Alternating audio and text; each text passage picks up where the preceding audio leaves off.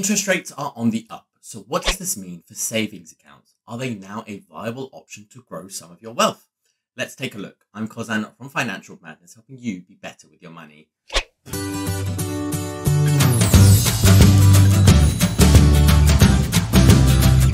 Well, welcome back to my channel. Gosh, I know it has been a while, and this is probably the longest unplanned break that I've done.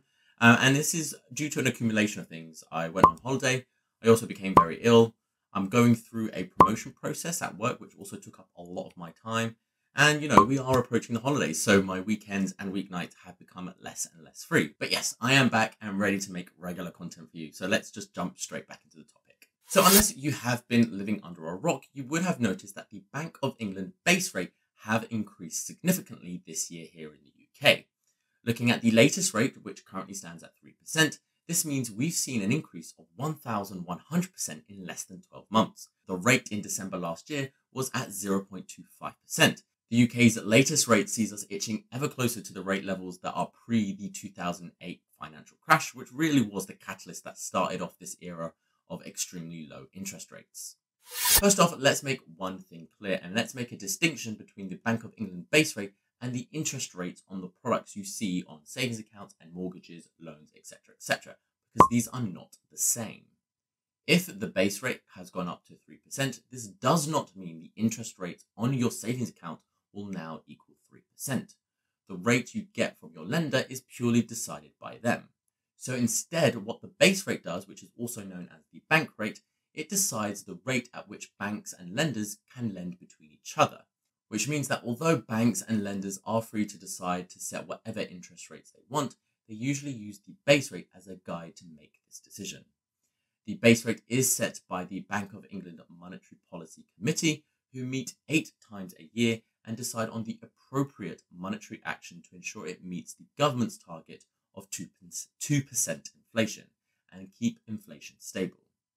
And because the base rate effectively acts like a guide, whenever there is a change in the base rate, there is usually an eventual knock on effect on the interest rates set on mortgages and savings accounts. So I have trawled through the market and these were the best deals that I could find. But do let me know in the comment section down below if you find anything good too. Perhaps I've missed something. Uh, I'll also split these into different types of savings accounts. We'll be looking at easy access savings accounts, regular savings accounts, fixed rates, and current accounts too.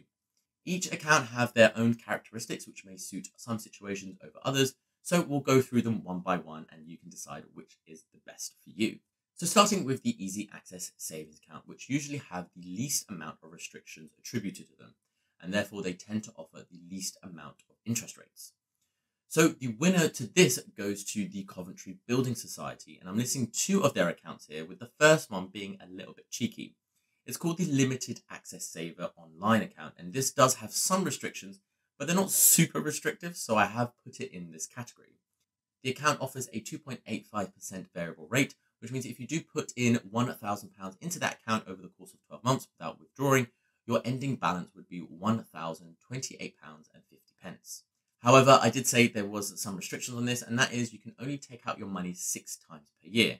Taking it out any more than that will incur a penalty fee. Otherwise, we do have another account which offers no restrictions whatsoever, and that still sits with the Coventry Building Society. They have an easy access online account which currently offers a 2.35% variable rate, with the interest being paid annually and monthly. Using the same £1,000 example I used before, that would leave you with an ending balance of £1,023.50. So these rates aren't nothing to scream home about, but they are a somewhat of an improvement, considering if I compare it to my current easy access account that I've just been given by default and I don't actually use it. Um, it's with Santander, and as an everyday saver, it offers me 0.4%. So it's definitely worth shopping around as you may find better rates than what your current provider is offering.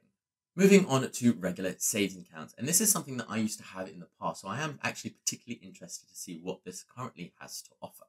These are accounts that tend to pay the highest rates. However, you are restricted in how much money you can put in them and when it comes to withdrawing as well. Now, the best one that I could find goes to First Direct, which is the winner in this category, having recently upped their savers rate on the 1st of December with a lovely annual equivalent rate of 7%, which is fixed for 12 months.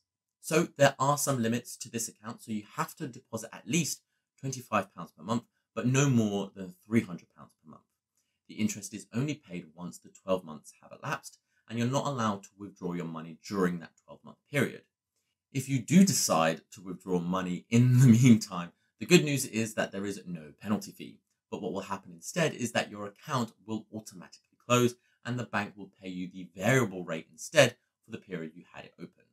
According to their guidance, by maxing out your £300 contribution, which is the equivalent of depositing £3,600 over the course of a year, you'll receive about £136.50% gross interest. Not bad. Another regular savings account which is worth mentioning is the Barclays Rainy Day Saver account, which is for Blue Reward members only. Now, although this has a lower rate of interest at 5.12%, the maximum deposit can be up to £5,000, which is significantly larger than the First Direct option, which means you can receive approximately £250 of gross interest in the course of one year. Now, regular savings accounts are good for a number of reasons. One, it can help you get started if you're new to saving. The regular payments are quite low, so it's quite easy to make those payments. And it's also good for putting money away that is neither long term nor immediate and still earn some decent interest than keeping it in a regular savings account instead. And although you do lose the benefits of the higher rate if you do decide to withdraw your money early, the best thing is, is that there's typically no penalty fee if you decide to do so. So there is that added flexibility if you have to access that money when you absolutely need to. There is also no penalty for hitting that subscribe button too. Moving on to fixed rate savings accounts. Now these accounts essentially see your money locked away for a term period, usually between one to three years, and the interest rate is fixed for that said term. Now, my vote would go to Nationwide as the winner for this one. They currently offer a one, two, and three year deal offering 4%, 4.5, and 4.75 respectively. I'll put the amount of interest you can expect on each of these on your screen now. Now, although Nationwide aren't offering the highest rates on these types of savings accounts, but what they do do is offer the best, highest rate and lowest entry combination. For example, with these savings accounts, you can get started from as little as £1 all the way up to 5 million. Other higher rate options tend to have a minimum deposit of £1,000 to £10,000. Now, these types of savings accounts are great for those that want to accumulate some wealth, but perhaps are risk averse in their risk attitude. Although on average, this will rarely outperform the market if you decide to invest that money instead in stocks and funds.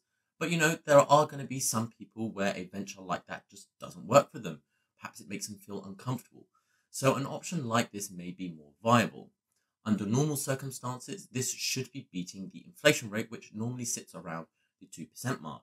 And most likely, the lender will be covered by the Financial Services Compensation Scheme, so you know at least £85,000 of your wealth is guaranteed to be protected if anything bad was to happen to your provider. And lastly, moving on to current accounts. Now, I know they technically aren't classed as a savings account, but they too offer interest rates as well, so it's worth taking a closer look at them. Again, the winner goes to Nationwide as they're offering 5% interest on your current account of up to £1,500. That means you can expect to receive a maximum of £75 per year in your bank account. There are some terms you have to agree with, such as depositing £1,000 into the account each month and that it only lasts for one year. Post the 12 months, the rate will go down to 0.25%. Cool, so those are the best savings accounts available in the UK as of today.